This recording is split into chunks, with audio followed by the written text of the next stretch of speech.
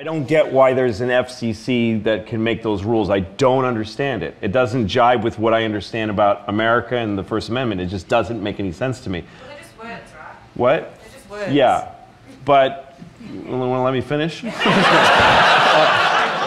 Love it, or do you hate it? No, like, I, but he's bothered me so much. when I was a kid, I was bullied, but I was bigger. I was bigger and I was bullied. you're still bullied, even though you're bigger than Bullied kid. by littler kids than me. Oh no, this, this way. This is a flashback. And I was bigger. I could beat the out of you. I'm like, how do you get your series from FX? Yeah, it's kind of crazy. I don't think anybody's done that. No. really. Well, FX um, uh, took my series off. I don't know why. It's so weird. It was really successful. yeah. and then they just made an arbitrary decision That's weird. to just.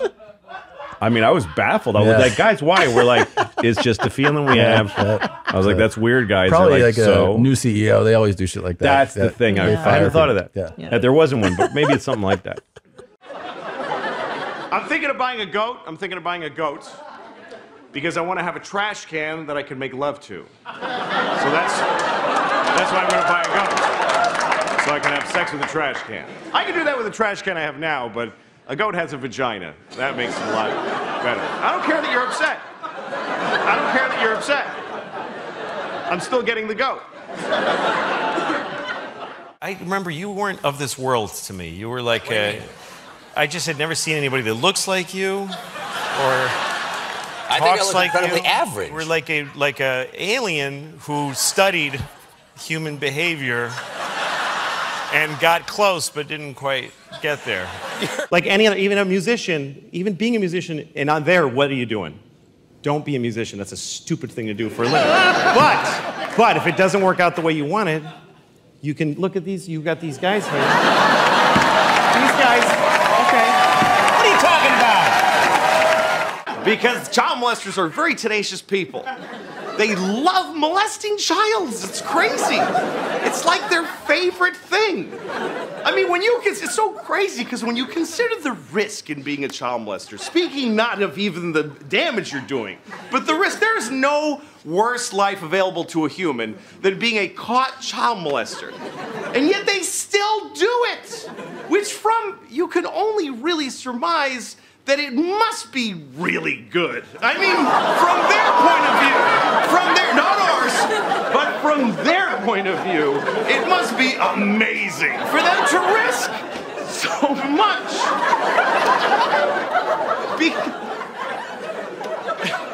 How do you think I feel? It's my last show, probably. Because What is the best advice you can give for like a student and like attitude when you're doing that? Because you kind of say a big F you to a lot of people, and I like that.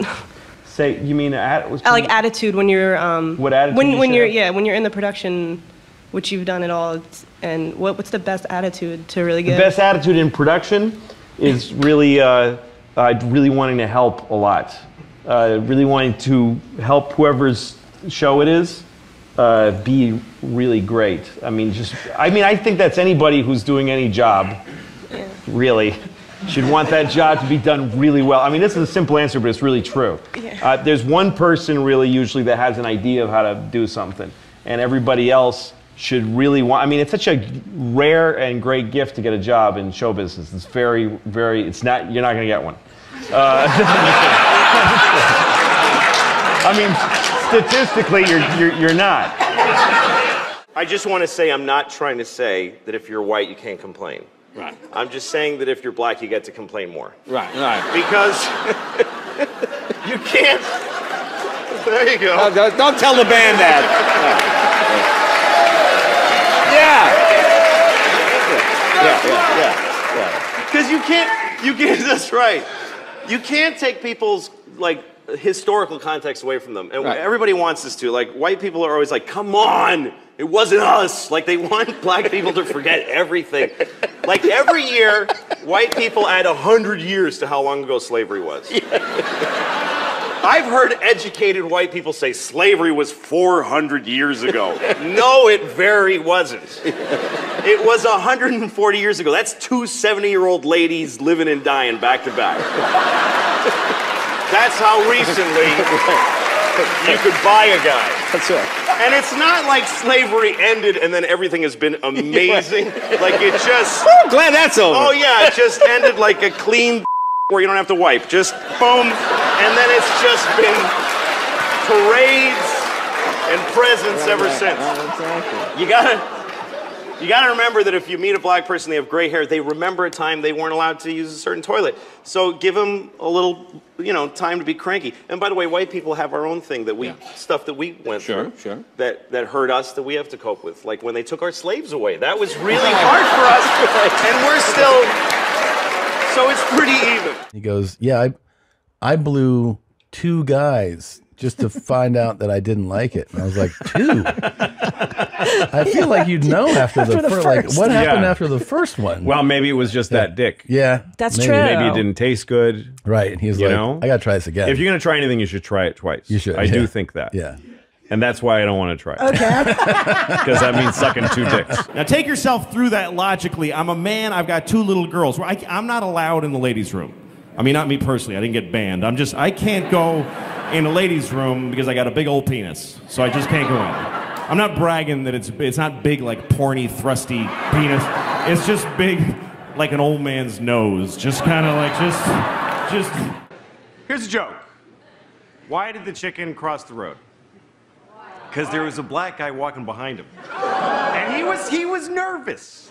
He was new to the city, this chicken, and he was like, I feel like he's following me, but I'm not sure. So then he thought maybe if I cross the road, then if he crossed the road, he's definitely following me. So he crossed the road, and the black guy went home. He's living his life. And the chicken was like, I'm such a racist. And he felt he felt bad. About a month later, a black guy ate the chicken. A different black guy. I'm just telling you what happened. By the way, don't be upset because this is not a racist joke. This joke is not racist. The chicken was racist. The chicken was definitely racist. But that's chickens. Chickens are very closed down and suspicious and prejudiced. You kind of can't blame them considering that their species murder rate is 100%.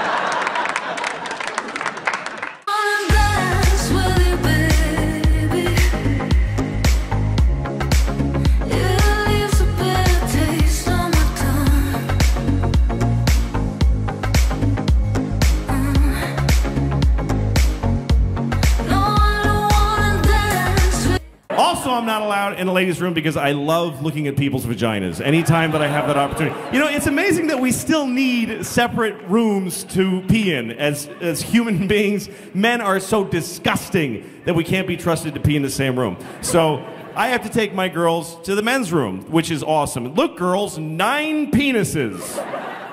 Sex is weird though. You know when you're having sex with somebody, you start to make those noises. You know those sexual noises. Those. You ever feel weird about the noises you make during sex? You ever listen to yourself and go like, "Where the fuck did I pick that one up? What the hell was that?" Because sometimes you make the oddest noises. You really get into it. You're like, ah, ah, ah, woo.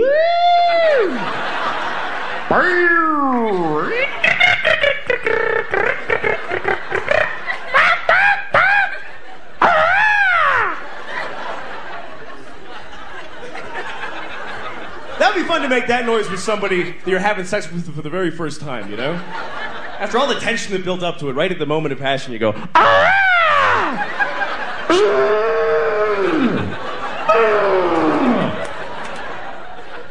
Just to watch their face going, "Oh, shit. Fuck, man, another one. This was weird. I was walking down the street and some guy told me I was wearing a faggy shirt. What the hell does that mean?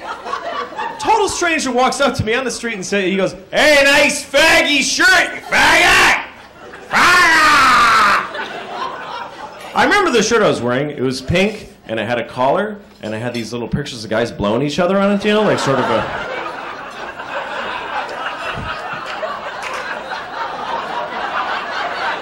Grown-ups ain't worth a meat. Whoops. All right. All right. Oh, shit. God damn it. Idiot. This isn't a gay voice, by the way. It's not. Shut up.